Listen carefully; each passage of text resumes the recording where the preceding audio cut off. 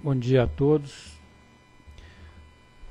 Vamos dar início à nossa 16ª reunião pública ordinária da diretoria. Temos o coro de cinco diretores completo, portanto apto a deliberar. E temos para aprovação a ata da 15ª reunião pública ordinária, indago do diretor se tem alguma observação. Não tendo, considero aprovada a, décima, a ata da 15ª reunião e solicito ao secretário que anuncie a sequência que vamos deliberar os itens da pauta. Um bom dia a todos. Inicialmente informo que o item de número 9 foi retirado de pauta. Forma a nova ordem, a qual foi aprovada pelo diretor-geral, que são dos itens de 1 a 4, e na sequência itens 7, 8 e 15. Então, item 1, processo 48.500, 6628, 2014 18. Pedido de impugnação interposto pela Tecnogera Locação e Transformação de Energia SA, em face do edital do leilão número 10 de 2015, ANEL, leilão de aquisição de energia elétrica e potência associada de agente vendedor nos sistemas isolados para atendimento a mercado de concessionárias de distribuição na região norte. Diretor relator, doutor José Jurosa. Na 11ª reunião pública ordinária, realizada em 7 de abril de 15, a diretoria da ANEL aprovou o edital e respectivos anexos do leilão número 10 de 15, que se destina à contratação de energia e potência associada de, de agente vendedor no sistema isolado para atendimento à localidade integrante do lote 1 na área da Serão e dos lotes 1 a 3 na área da Eletroacre. O cronograma de eventos do leilão por compradora, integrante do anexo 1 do edital, estabelece as seguintes datas limite para pedido de esclarecimento, apresentação de projeto alternativo na EP e resposta aos pedidos de esclarecimento. Então, a data de, para apresentação na EP do projeto alternativo, no caso, dia, foi o dia 7 de maio de 15.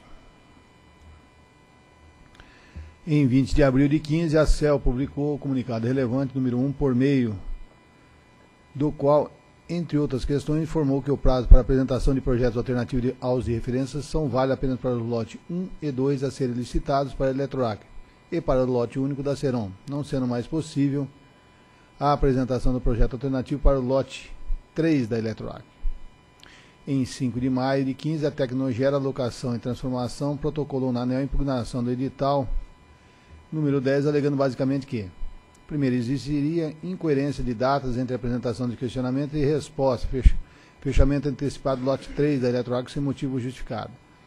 2. Haveria flagrante contrariedade das datas em relação ao prazo de envio de esclarecimento e resposta aos participantes. Em relação ao prazo de envio de projetos alternativos, a referência apresentada nos itens anexos que se encontram disponível no site da ANEL, porque as datas para apresentação dos pedidos de esclarecimento de 27 do 4 é absolutamente contraditório com o prazo de resposta desse órgão, 11 do 5, quando comparado ao prazo de envio do projeto alternativo na época, conforme se infere no cronograma. 3. Se faz imperioso a alteração das datas impugnadas por, a contrário, senso latente está iminente prejuízo aos participantes, haja visto que por vezes depende das respostas aos pedidos de esclarecimento para que possam embasar seus projetos e propostas em prol de uma eficácia no atendimento às demandas dessa administração. 4. O, o comunicado que, consequentemente, encerrou a participação de outras empresas na apresentação de seus projetos alternativos é absolutamente arbitrário e afronta literalmente os princípios basilares da administração pública pois nota-se uma nítida afronta ao exercício da livre concorrência, haja visto que os participantes não puderam apresentar seus projetos alternativos ao lote C, sem que a referida decisão tenha sido tomada sem maior justificativa, conforme exige a Lei 8666, e que o lote 3 tem por característica principal o longo lapso contratual, que em caso é de 15 anos, e considerando que todas as demandas das localidades é passível de apresentação de projeto alternativo para os demais participantes. Caso o referido lote seja mantido encerrado, fica notório o desfavorecimento das empresas participantes, ferindo livre concorrência, legalidade, impessoalidade e demais princípios legais.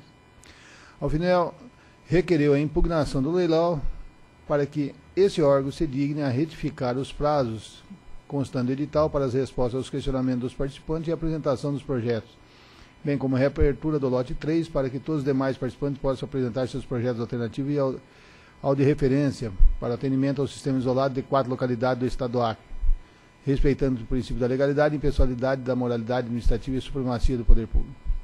Em 11 de maio de 15 foi publicado no Diário Oficial da União, despacho número 1428, pelo qual a CEL resolveu conhecer por tempestiva impugnação ao edital número 10, formulado pela Tecnogera, e no mero negar o provimento, e encaminhar o processo para julgamento final da impugnação da, pela diretoria da ANEL nos termos do parágrafo 3 do artigo 41 da Lei 8666.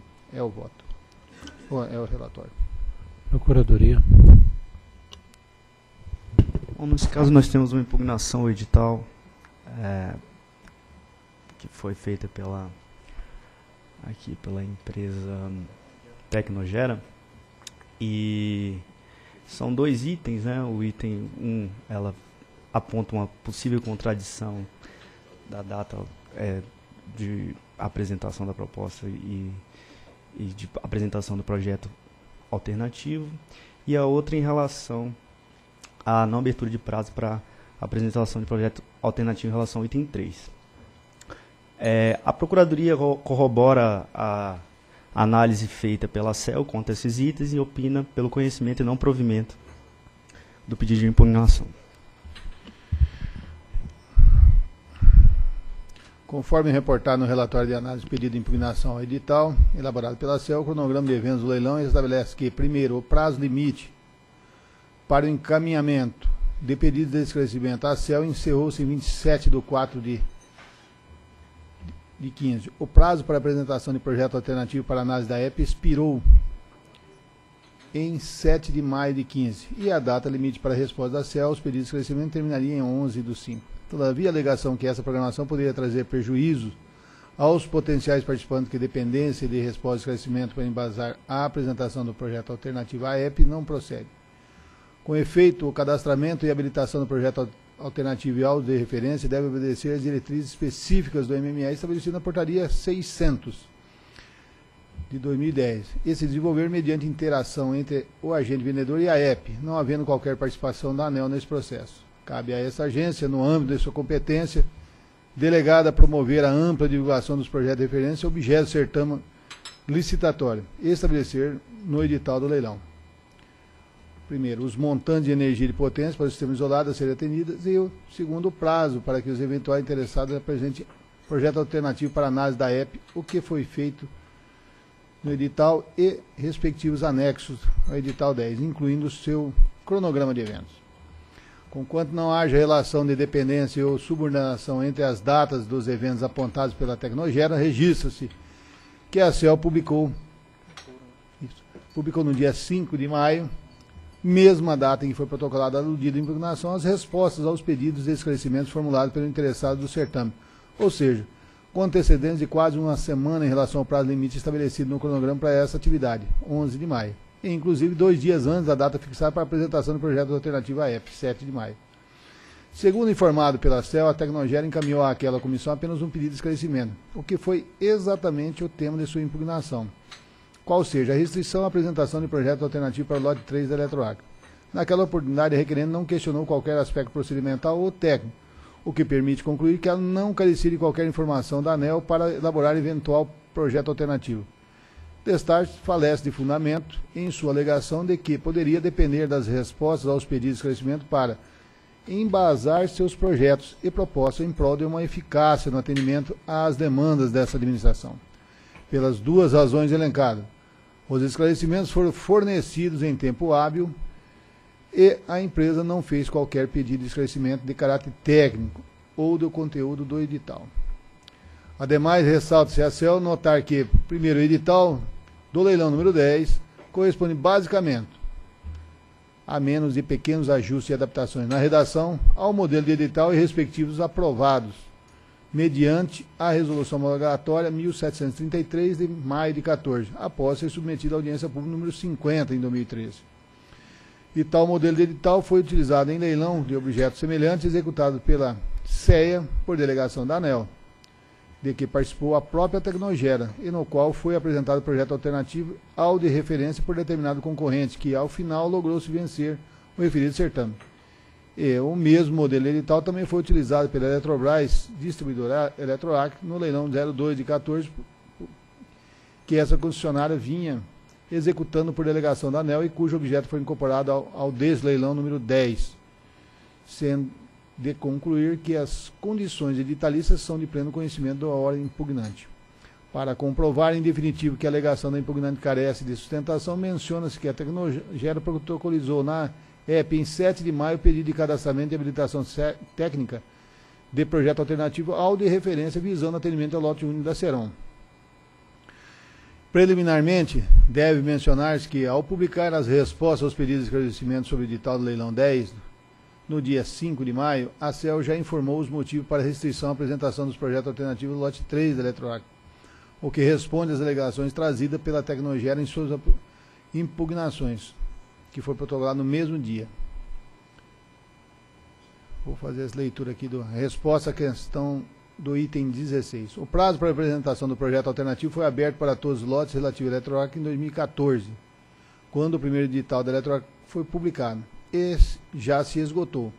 Para o lote 3, houve a apresentação tempestiva de um projeto e, portanto, reabri-lo poderia trazer prejuízo a um proponente que cumpriu a regra do edital e permitiria a outros aproveitar-se do seu projeto, que agora é de conhecimento público. Como para o lote 1 e 2 não houve projeto alternativo, a reabertura de prazo para aumentar a competitividade no leilão, com benefício ao interesse público, sem prejuízo a terceiro. Também foi reaberto prazo no lote relativo a Serão.